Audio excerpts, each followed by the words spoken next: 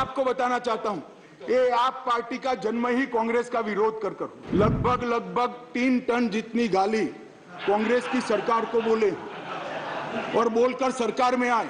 जैसे ही आज शाम को ये बिल खत्म हुआ, पारित हुआ, केजरीवाल जी पलट जाएँगे, ठेंगा दिखाएँगे और कुछ नहीं होने वाला।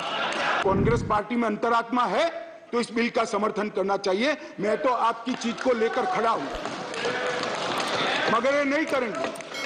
मगर ये नहीं करेंगे। मुझे मालूम है, मान्यवर, क्योंकि उनको गठबंधन बचाना है। उनको गठबंधन बचाना है। मान्यवर मान्यवर, मैं आपको बताना चाहता हूँ, ये आप पार्टी का जन्म ही कांग्रेस का विरोध कर कर लगभग लगभग तीन टन जितनी गाली कांग्रेस की सरकार को बोले और बोलकर सरकार में आए। और आज अनधिकृत अधिकार प्राप्त करने के लिए कांग्रेस का समर्थन ले रहे हैं। और कांग्रेस वालों को भी ठीक है, चलो हमारा गठबंधन बढ़े। भाई, मैं बताना चाहता हूँ, खड़गे साहब, जैसे ही आज शाम को ये बिल खत्म हुआ, पारित हुआ, केजरीवाल जी पट- पलट जाएँगे, ठेंगा दिखाएँगे, और कुछ नहीं होने वाला। कि उनका लक्ष्य हम नहीं है। उनका लक्ष्य हम नहीं है, कांग्रेस पार्टी है। जरा इनका चुनावी इतिहास देखिए। उनका लक्ष्य आप हो, वो आपको नहीं छोड़ेंगे। खैर, वो आपको देखना है।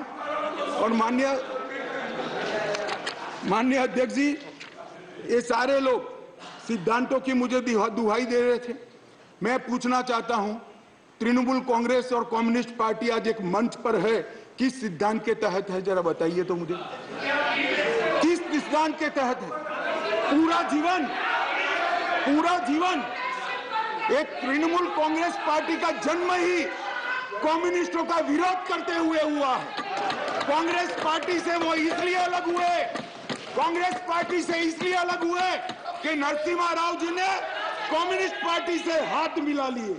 और आज सत्ता प्राप्त करने के लिए वो इनके साथ बैठे एक कांग्रेस पार्टी, एक कांग्रेस पार्टी और कम्युनिस्ट पार्टी, केरल में तो यूडीएफ एलडीएफ कर कर एक दूसरे की जान लेने पर आमादा है और वहाँ इलू इलू कर रहे हैं। मान्य अध्यक्ष जी मान्य अध्यक्ष जी, ये जनता दल, ये जेडीएस मान्य अध्यक्ष जी जेडीएस ये नीतीश कुमार जी है जेडीयू जेडीयू ये नीतीश कुमार जी है, जिनकी राजनीति चारा घोटाले का विरोध कर कर हुई। इनके राष्ट्रीय अध्यक्ष लल्लन सिंह जी कहते थे, मैं पान का बनवारी बन जाऊँगा, मगर कांग्रेस पार्टी के साथ नहीं जाऊँगा। लालू के साथ नहीं जाऊँगा। मान्यवर, ये साथ में आ गए।